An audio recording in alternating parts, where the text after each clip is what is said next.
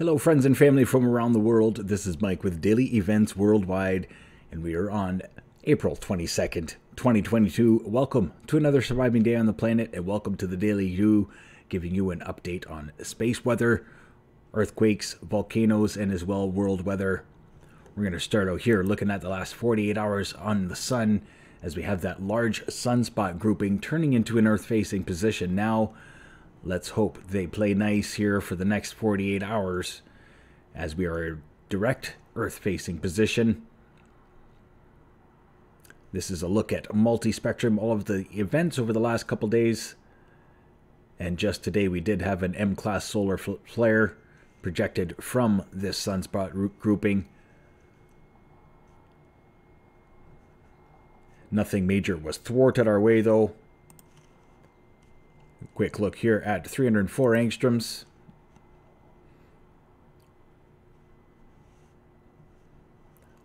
This is the incoming side. Plasma filaments erupting here. Standing on the surface, wrapping themselves around the southern hemisphere. This is outgoing and Earth facing. So these sunspot groupings are still putting on quite a show as they have been for the past week. And just today, another M class solar flare. Looking here at the solar X ray flux, there was an M1.3 solar flare. Geomagnetic activity remains slightly elevated. And KP3 Real-time solar wind, we're sitting at 473 kilometers per second right now. And that's been pretty steady throughout the day. Other than that, no major space weather events thwarted our way. Quick look at earthquakes around the world. As our largest earthquake today was a 5.7 in a pretty rare place, Bosnia at that.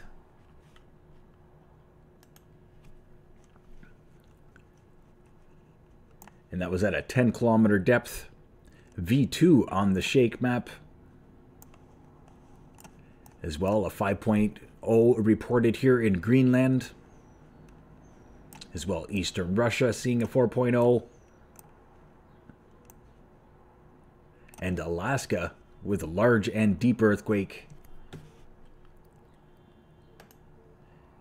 Nelson Lagoon, Alaska with a 5.3. They did put out a tsunami watch, but there was none imminent.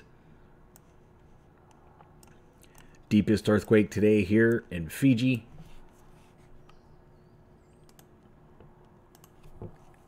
Actually, I don't even think that was today. I think that was late last night. Deepest earthquake is here in Alaska.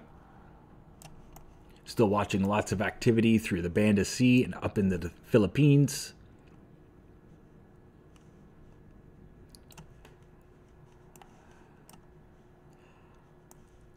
Across South America, only reporting two earthquakes there, minor at that. USGS isn't even reporting anything right now, the last 24 hours for South America. Activity moving eastward from the Dominican. And then looking across the United States, we did have a pretty rare earthquake to report through Missouri today, as well Georgia. Only one magnitude, nothing major to report. And then across the, the western U.S., no major swarms to talk about. Looking at about 250 earthquakes across the USGS map. And about 60 of them were down in the geysers. Minor 0.4 to 3.2 largest reported today. Quiet across Hawaii. Quick look at the USGS. All of the earthquakes the last 24 hours, it looks pretty quiet. Most of the earthquakes have been in Alaska. Alaska uptick as forecasted. Here with daily events worldwide. Stay tuned daily as I do give out quick forecasts whenever I can see things developing. Minor earthquakes northwest of Yellowstone, one in the lake. Activity moving up into Washington state. Ashford.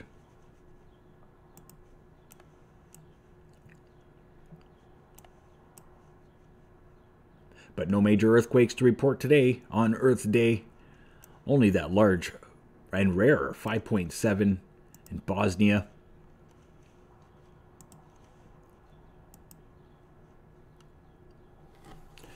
Quick look at our Schumann resonance for today as it is a power of 5160 healthy spike here over the last six, seven hours reported on this graph.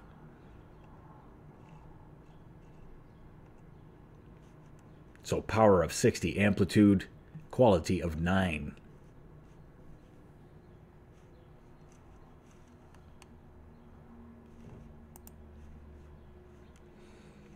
Also, a quick look at our world weather, current status, satellite imagery, and as well give you an update on the active and erupting volcanoes getting updated today.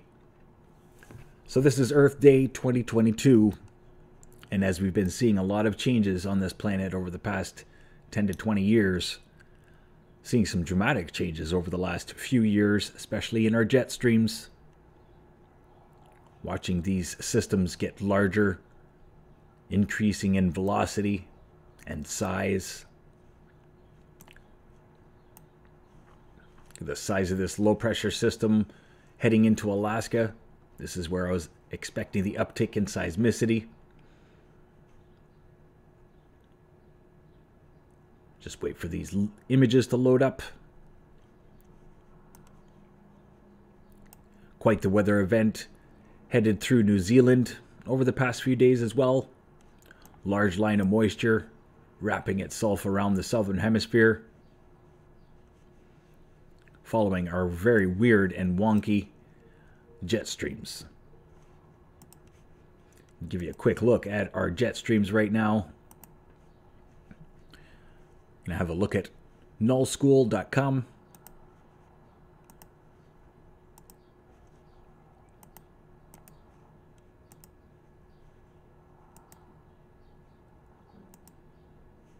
Here we go.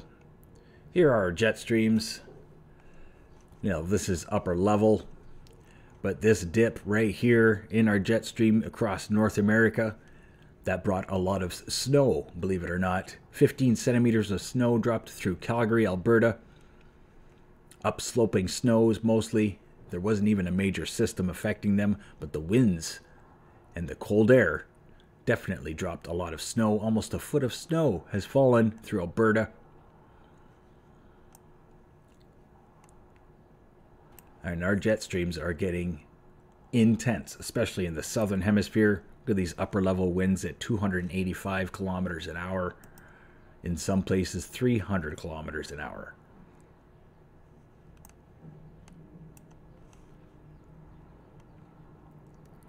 Now just look at the difference here. We're going to show you this is now. Let's go back one year to 2021.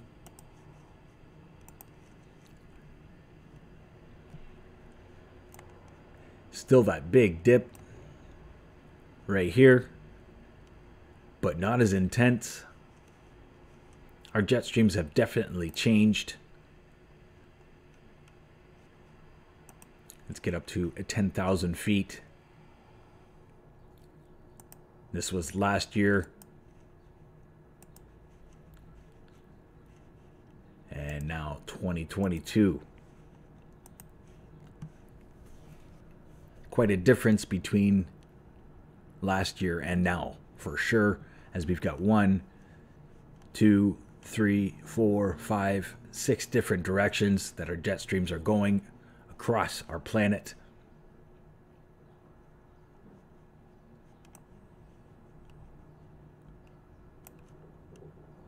Climate change is real. Our climate is changing, but it's going through a cycle, just like it has in our past.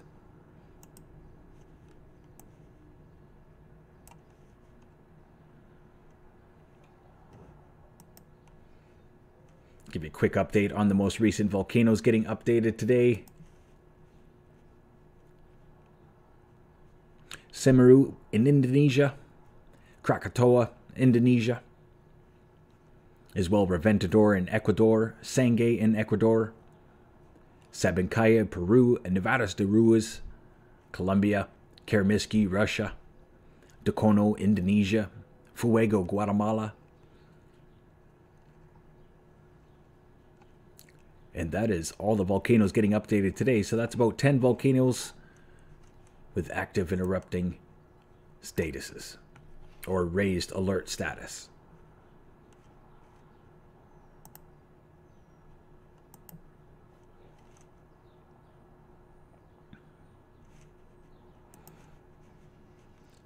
Also, give you a quick forecast here brought to you by windy.com.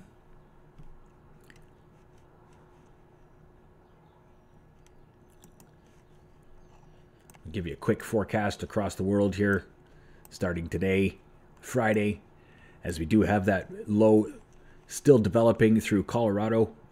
Central United States is going to be bringing snow into Saskatchewan and Manitoba by Saturday. And then by Sunday, it'll be, a full flown, or sorry, a full blown blizzard across Manitoba and northern Ontario stretching up into the Hudson Bay, and then watching for some tropical moisture to head through the Gulf of Mexico, up through Texas, Arkansas, and as well Illinois, Indiana. Watch for extreme weather event for Monday. Heading southwards into Tuesday.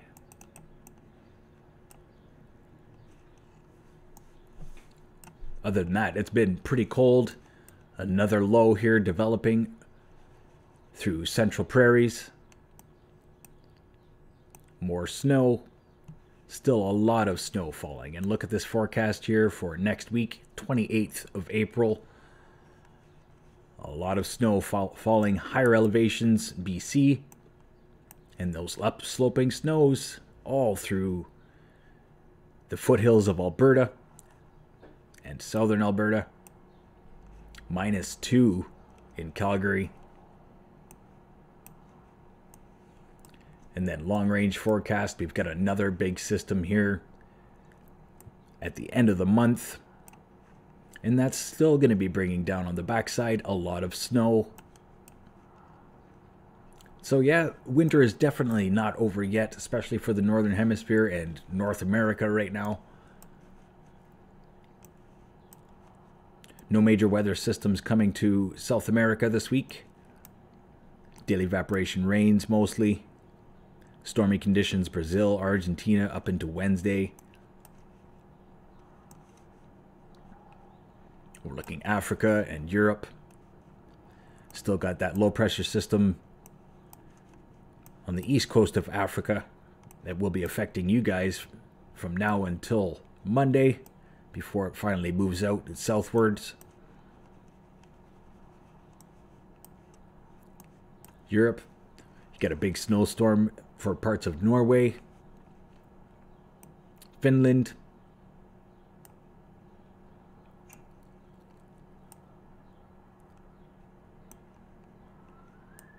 coastal regions mostly, and then watch this big storm blow up right across Eastern Europe, Central Europe, and over into Russia. Still lots of snow falling. And still some big systems developing. Here we go, folks. Welcome to the new mini ice age.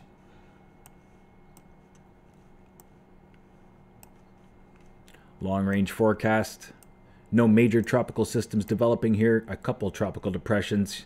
Philippines, west of the Philippines, developing by the 29th. And then a pretty strong system coming out of Japan, the 30th. Other than that, no major changes since last update two nights ago. This was a live update. We are live right now in the live stream. And you are live with me right now, whoever is in the live stream. I want to thank everybody for watching. This has been an impromptu daily DEW. First time I tried, ended up getting phone calls and door knocks, and it is what it is. I want to thank everybody for watching and as well following along with daily events worldwide. Much love. Stay aware and prepared. Stay young and have fun. And get your daily DEW. Thanks for watching. Good night now. Bye bye.